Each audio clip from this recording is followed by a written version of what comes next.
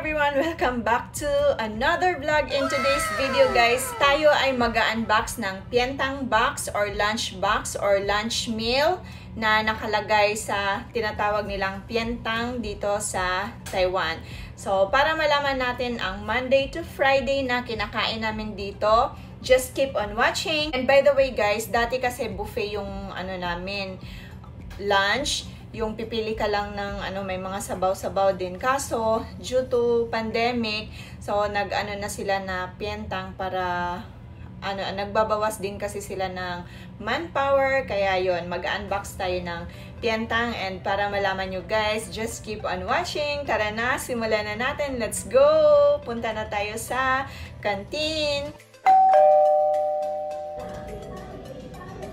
At buksan na natin guys ang ating pientang box or lunch box for today.